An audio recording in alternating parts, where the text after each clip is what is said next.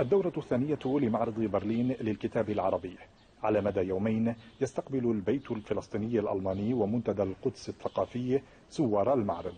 في الدورة الأولى شهد إقبالا كبيرا. لكن هذا العام يقام المعرض في ظل انتشار وباء كورونا والإجراءات التي فرضها. ومع ذلك يتوقع المنظمون أن يصل عدد الزوار لنحو ألف شخص.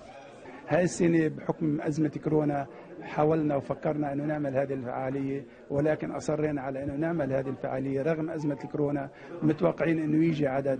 لا بأس فيه رغم رغم هذه الأزمة.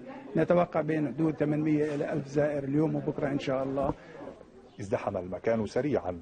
الكتب تنوعت بين ثقافية وتعليمية وأخرى سياسية إضافة لركن خاص بالأطفال.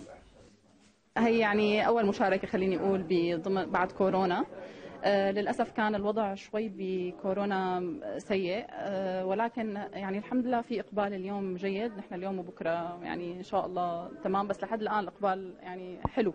لما بشوف إنه أهالي مهتمين إنه يعلموا أولادهم الثقافة العربية الهوية العربية الخط العربي هذا الشيء بيسرني كثير في الخارج ينتظر بعض الزوار.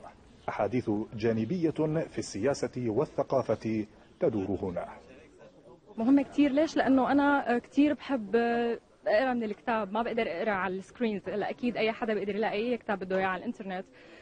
بس ما بحب أقرأ على الشاشات ابدا. فبيهمني يكون موجود كتب تقدر تحكي عن عن تاريخي عن تاريخ بلدي من وين إجيت. أنا كنت صغيرة ما كنت بعرف كثير ف بيهمني الكتب اللي كان اللي جاية من من بلدنا من الشرق الأوسط بتحكي عن كل هاي المواضيع. ألف كتاب تنوعت بين روايات وقصص وكتب إسلامية وكتب ثقافية وعلمية.